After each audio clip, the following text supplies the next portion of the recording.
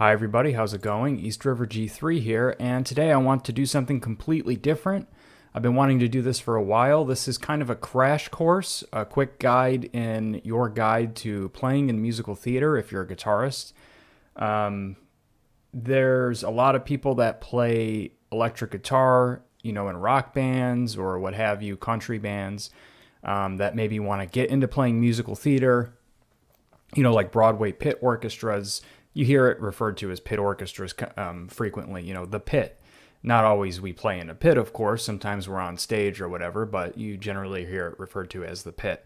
Um, and this is just a real kind of quick crash course guide because there's so much to talk about when it comes to this uh, that I could talk for hours about it. But if you're interested in playing in theater and you haven't, I have seen a lot of people ask questions that do want to play and they don't exactly know how to get into it or what to do exactly. These are my tips on what you need to know and what you need to be able to do to be a successful pit guitarist. Um, I'm going to list a couple bullet points I have here of what I think are important things you should be able to do well.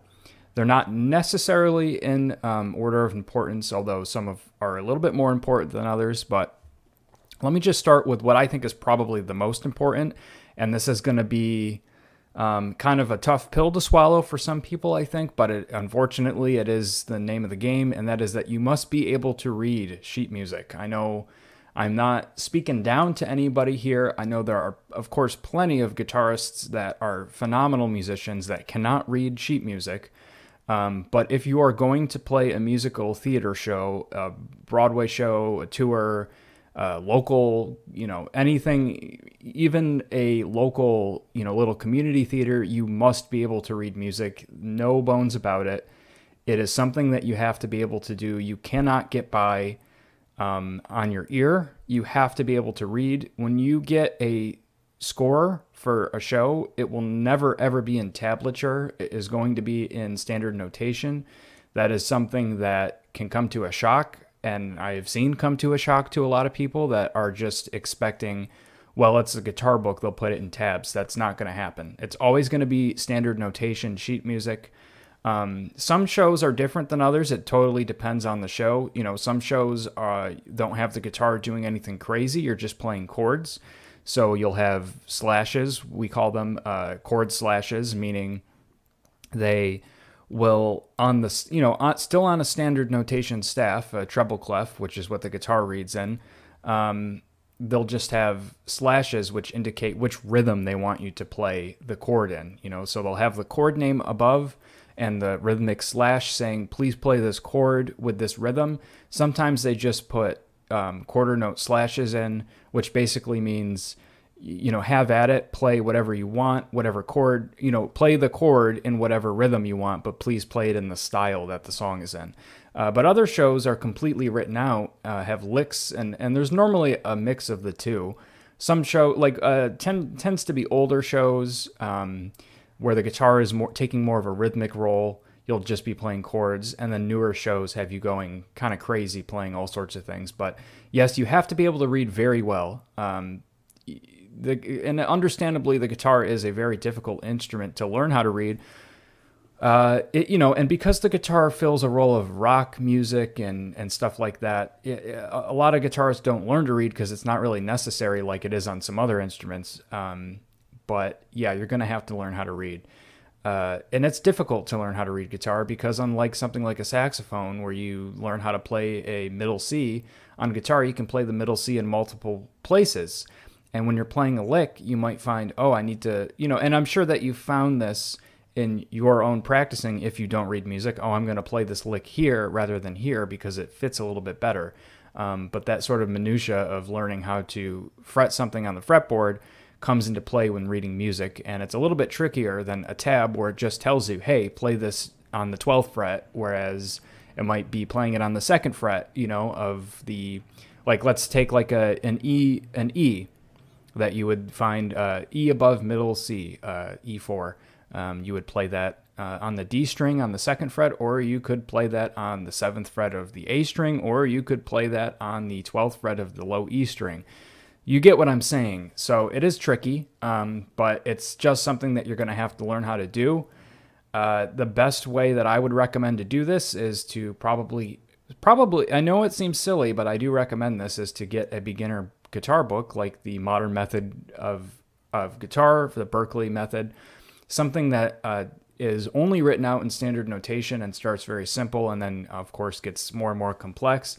It might seem silly to you know you might be a good guitarist, but it's gonna, something that's going to help you learn how to read. And then the other thing I would recommend I always recommend this is just to play through books. Try to get your hand on as many musical guitar books as you can and try to really work your way through reading them because you're going to start to learn, you know, it's like learning little licks and, and it'll just become easier to you, as well as expanding your repertoire of, you know, of musical theater. So I definitely recommend that. Now, sight reading is another thing that comes into hand. Of course, you need to know how to read to sight read, but after you've improved your reading skills, I absolutely recommend improving your sight reading skills, which, if you're not aware what that is, it means you're playing something for the first time. You've never seen it before. That does not mean you've looked through the book briefly and played through a couple things and then you're going to go in and really nail it. That means you have never seen this before and you're going to play it the first time. Of course, uh, you know, you're not it's not expected that you play everything perfectly on the first time, but Sight reading is something that uh, is a learned skill. Uh, in addition to reading, I think they're totally separate because there's little tricks you learn and things like oh, some people, everybody does it differently. Like I read two or three measures ahead when I'm sight reading, um, so that I kind of know what's coming. When I turn a page, my eyes immediately jump to where you know it's heavy ink on the page and I kind of all of this happens in a split second. Of, I know it sounds crazy, but it's it's just something that you learn as you do it more and more. You, you it starts to become second nature, just like reading. You might think reading is ridiculously hard, but you probably thought playing an E major chord or an F major bar chord was ridiculously hard when you started playing guitar. And now I'm sure, you know, you can play an F major bar chord with no problems. You don't even think about it. And the same goes with reading. You'll just you'll just do it. And same with sight reading. You know, you'll you'll quickly scan the page in a split second, and you'll you'll know okay something tricky's coming up i got to really you know get that or you know you might say oh that looks a little too tricky to read and nail i'll take that down an octave just for this purpose of this rehearsal or this take or whatever um, in musical theater you don't have to sight read too much um, because you know, you, you might come into a case where you get to the first band read and you are seeing the book for the first time. So that's where sight reading comes in handy. You don't want to be that person that's the weak link in the chain that's pulling everybody back because you can't read very well. Um, but more often than not, you are going to get the music beforehand. But you don't often get a lot of time with a book. Uh, that's another thing that some people are shocked by that you don't get like months and months to learn this music. And I want to tell you that uh, musical theater, it might not be your cup of tea, but it is not easy music. And that's a, that's something that I've dealt with before. People that kind of almost scoffed at musical theater, like, oh, I like show tunes, you know, whatever, man. And then they can't play the music because it's hard. There is there's any number of things, you know. Musical theater can be any style it can be any complexity and difficulty. So, yeah, there are some unbelievably hard things you might have to play in musical theater.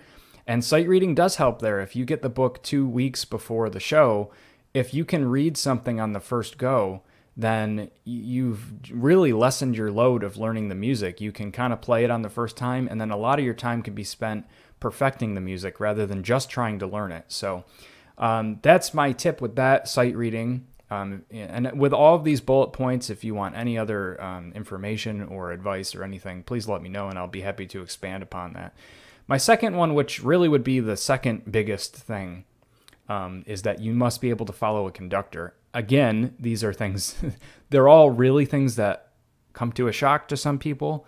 Um, yes, you need to be able to follow a conductor. A rock guitarist is not going to be usually following a conductor, especially if you're playing in a bar band or not even a bar band, just a touring band or anything.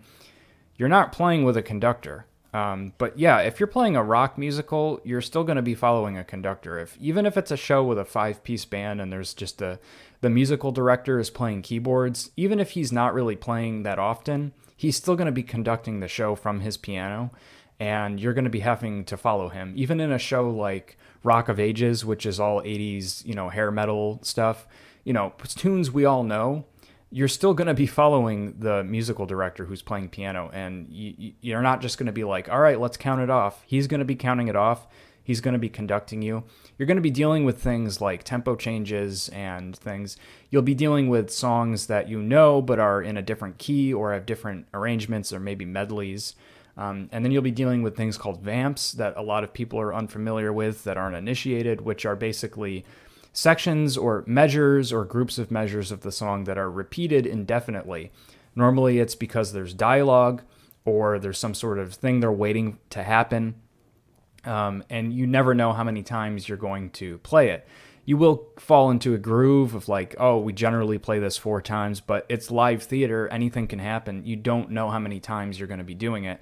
So you need to be looking you know at the conductor. You kind of have to memorize certain sections of the music just so that your eyes are on the conductor. He's going to cue you out of the vamp. All conductors conduct differently. Some conductors will cue out of a vamp differently but um, you'll learn you know and generally you'll if, if you've played with a conductor or a music director who's playing keyboards, you'll get what their little signs, their hand signs are for that. Not all conductors conduct like traditionally with a baton, of course, they conduct with their hands or their head, you know, if they're playing keyboards. But um, some shows you will be playing, like for instance, like the show Wicked, you're going to be playing a lot of rock guitar but you're also you know half the band is a is a rock band half the band is a symphony orchestra so there is a traditional conductor with a baton and he is going to be conducting the entire show there's plenty of shows like that and you just need to be able to follow his cues some conductors traditionally symphony conductors conduct ahead of the beat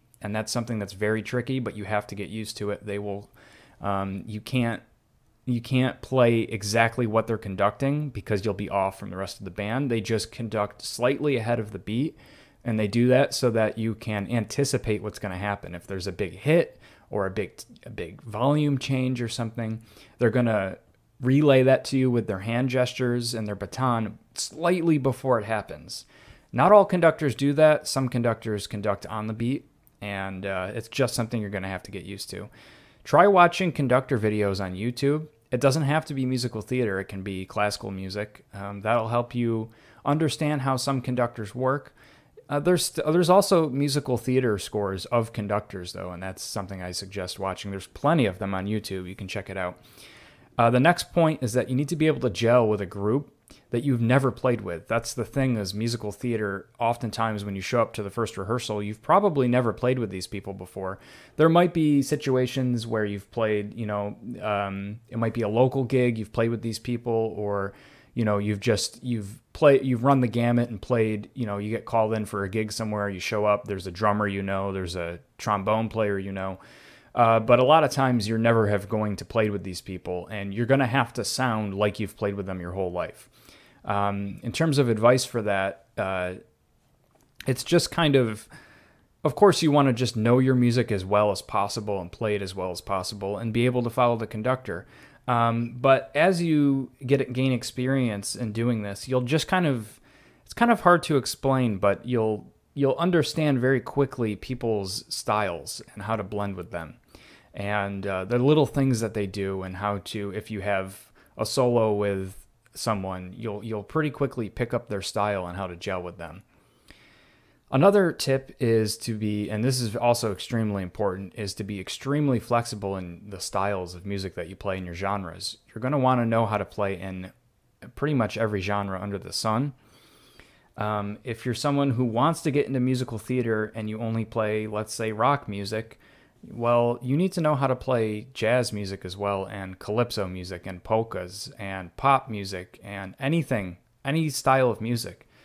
Because, you know, a lot of shows might be one style, like, well, let's say you're a rock guitarist and you get hired to play Once Upon a Mattress. Well, that's a traditional theater show through and through, traditional Broadway sound from, you know, 50s.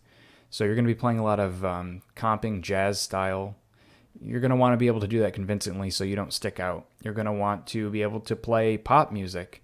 You're going to want to be able to play country music, very different styles of music. Because if you at- approach this music without any um, practice in that style, you're going to sound like a rock guitar player trying to play that. Now, you might be able to play the notes on the page, but what sets apart a good player from a great player is one that can blend in that style and that makes the music sound more convincing. Remember that it's not the guitarist show, it's not the band show, it's a musical theater show. So you're supporting the singers on stage and you're all part of, you know, you're all a wheel or a cog in this grand design of this show. You all have a role to play. So the better you are at slipping into a style, the more convincing it is and the less work that has to be done in making the show seem realistic. So if you know all the little tricks of country music like um, you know how like little licks and and oh i'm going to hold my pick a little bit back on the bridge to make it a little more snappy and twangy those little things go a long way in making everything more convincing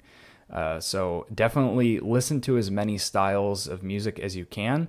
I'm not saying that you have to become a master in every single style of music. It's more like enough to fake it. I think that's the best way to describe it. Of course, if you can become very proficient in many different styles, that's great. But if you know enough to just kind of fake it and get by, I think that's good enough. It's a lot better than just reading the music on the page because it's just going to sound plain and straight. So, yeah, definitely want to do that. There are shows that have so many styles it would make your head spin. A show I always talk about and is really surprising to a lot of people is Legally Blonde, the musical. You know, yes, the the, the movie Legally Blonde. That show you wouldn't think it. You would think maybe, I don't know, pop music or something. There's pop music, there's dance music, there's rock music, there's traditional Irish music, there's jazz, big band swing there's lots of different styles of music and again the better that you are at being a chameleon the more convincing it's going to sound. Um, and what goes hand in hand with this is having a good tone because in musical theater you don't want to come in with a heavy tone. You don't want to come in with a real distorted tone unless it calls for that unless it's a punk musical or a heavy rock musical. But you really want to have a tone that is kind of neutral. You don't want to have I've I've played with guitarists who can read the music and they can play every note on the page and when they hit that overdrive or distortion pedal, it sounds like a buzz saw. You really want to have a good saturated overdrive, you want to have a nice clean tone and you want to have a good lead tone. You want it to be nice and saturated, maybe with some delay on it, but you don't want it to be super super heavy if it doesn't call for that. So in in general, a good you know, bag of tricks tone. I call it good all around tone. You want to go a little less overdriven than you think you need because you don't want to muddy it up. You, you might be playing with a lot of people. You might be playing with 12, 13, 14 people, and you don't want this oh, super ho- overdriven sort of sound, super heavy. That's going to just make things start to sound muddy. You're not going to cut through the mix. I mean, that's a good tip with anything. You're going to want to boost your mids more than you think you do. Um, but yeah, I do suggest that you probably turn the distortion back a touch than you think um, because it will cut through the mix and sound good.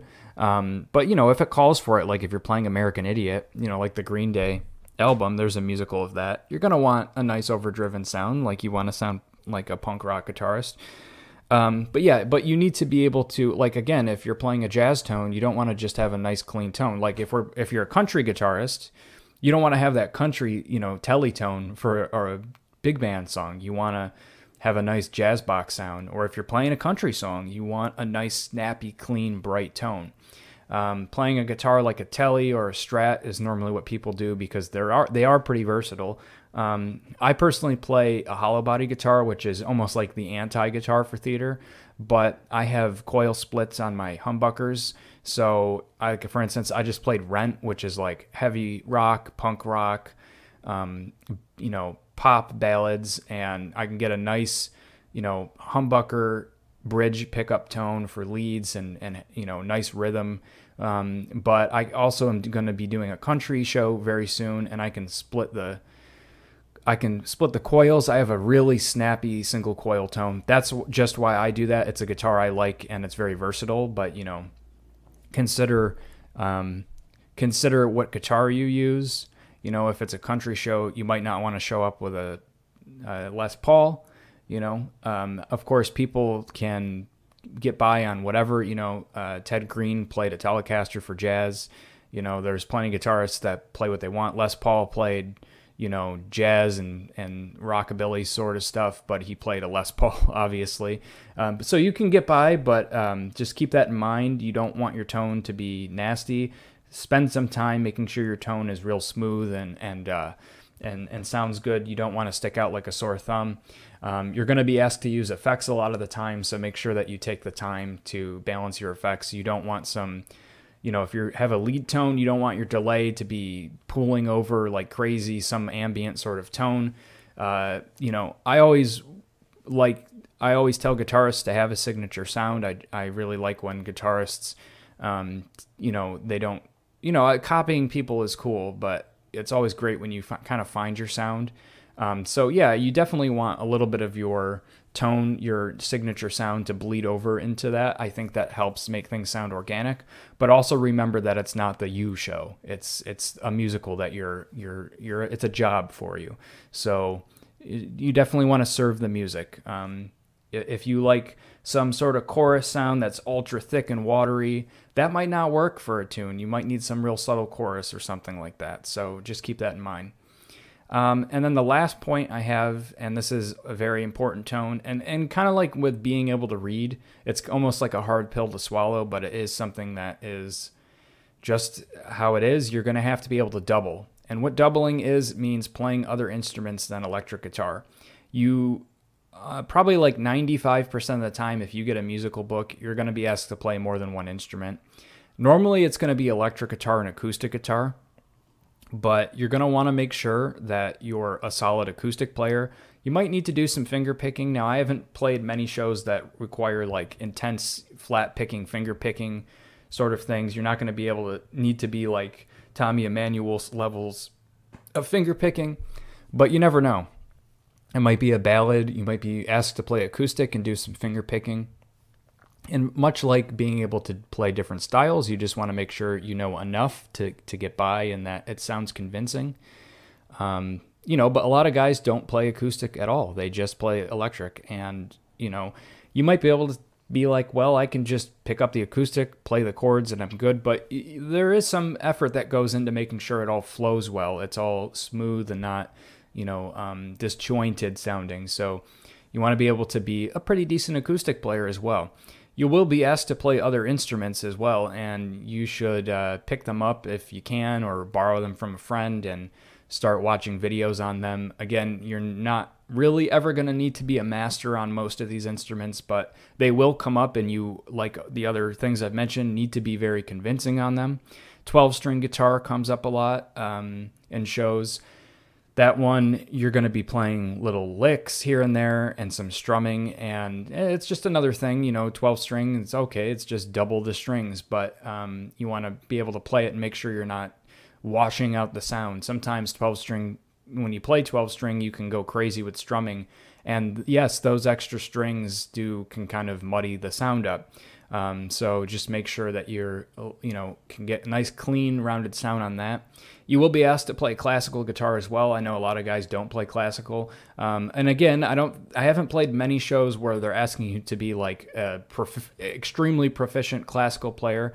Sometimes you'll just be playing licks and things like that. You don't need to be like, you know, like sitting with the guitar at an angle, like with the most proper, pristine technique ever I'm not saying that um, because ultimately the audience isn't going to be looking at you in the pit and like, oh, that guy didn't play the classical guitar with the most proper technique. This show sucks. You know, that's not going to happen.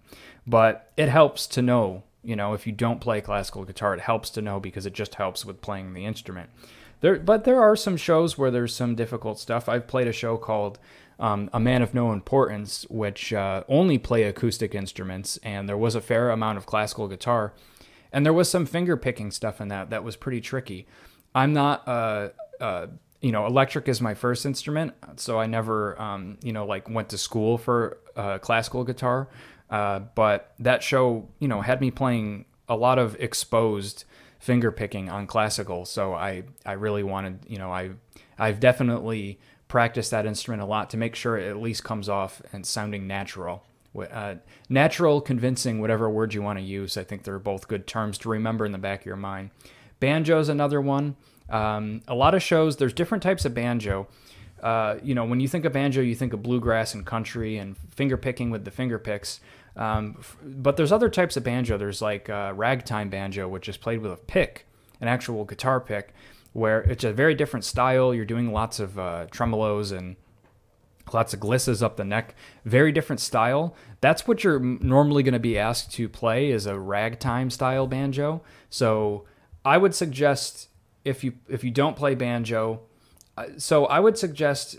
Oop! I just dropped something. Sorry. More often than not, um, you're going to be uh, what it, what I would suggest because you're playing this ragtime style a lot is first learn that kind of style. Watch some videos of ragtime banjo, Dixieland banjo, that kind of style where you're playing with a flat pick.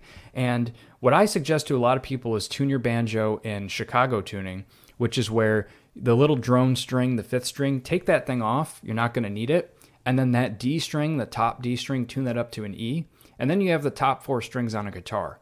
So you can fret all these chords that you're going to see in the book just like you can on a regular guitar. It's going to be really easy to read, and that way you're going to be able to play things a lot easier. Occasionally, you will have to play bluegrass banjo. Um, so, you know, if you want to learn traditional claw hammer banjo, um, you know, you want to practice that. But more often than not, you're going to be playing ragtime banjo, uh, which, funny enough, is very different than what you're going to find most of. So, so that's something to keep in mind.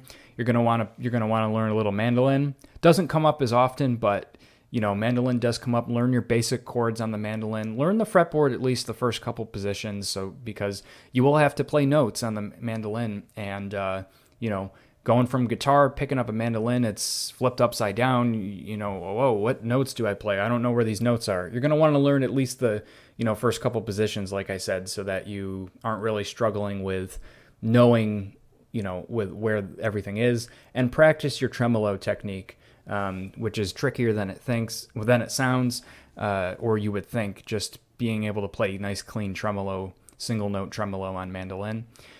Uh, dobro comes up.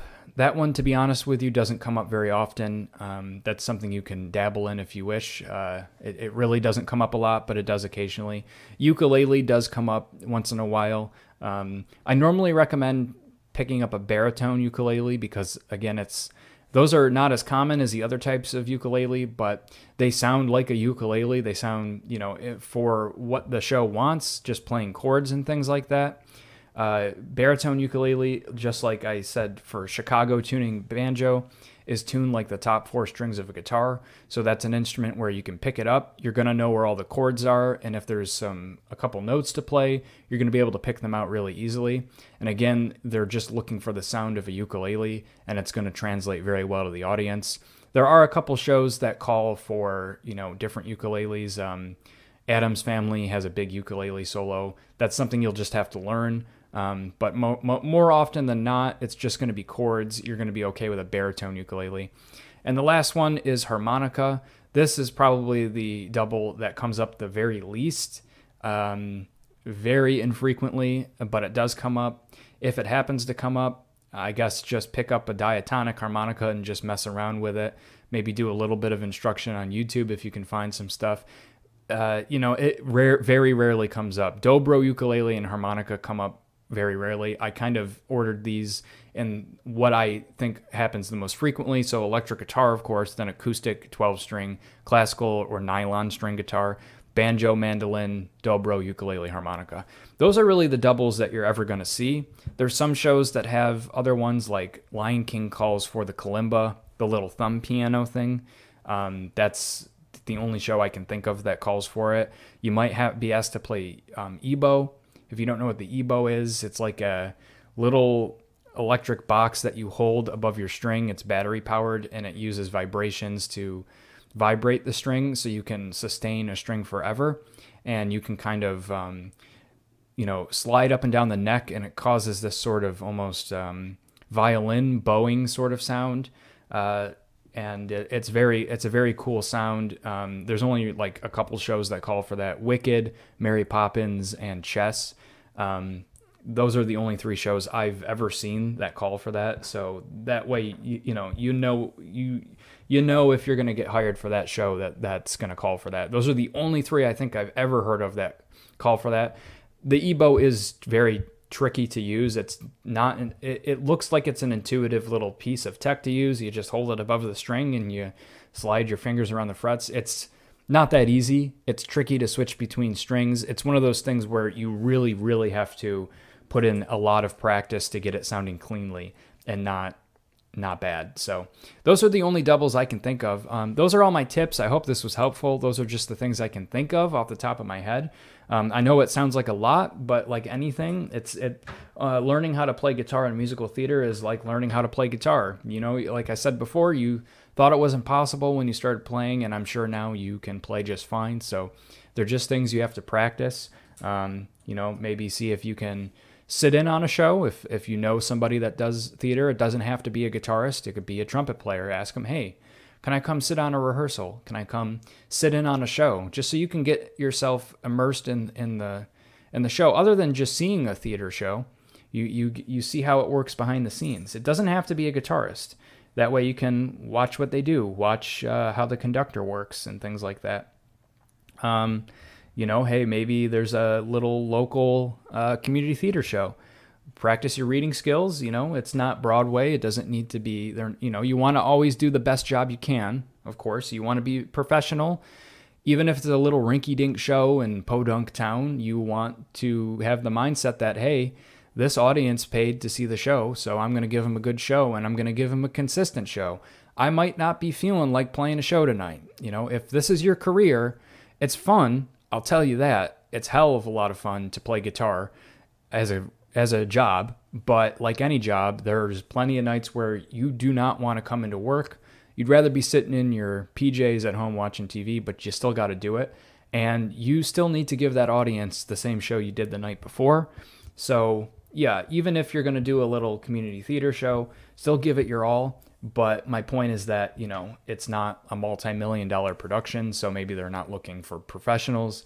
You know, um, you might not be, be getting paid amazingly, but yeah, you might not be getting paid at all. Um, I always, of course, recommend for fair pay for professionals. But if you're starting out, you might take a free show here or there just to, you know, I hate to say for exposure, um, but to hone your skills. So something to think about you might get into subbing for somebody. Um, sometimes people, you know, the the regular person that has that chair for the show, the guitar chair, might not be able to play it.